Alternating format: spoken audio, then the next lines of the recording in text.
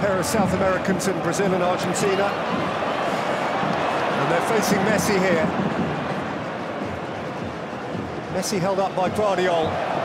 Messi away from Gvardiol.